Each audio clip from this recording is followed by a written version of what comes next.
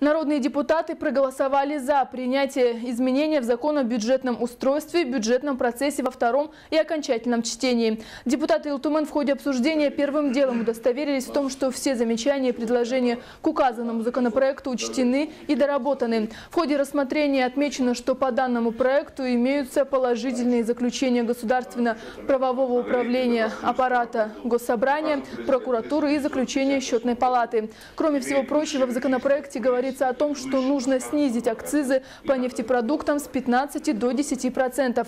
Благодаря этому в республике можно аккумулировать средства и направить их в более эффективное русло.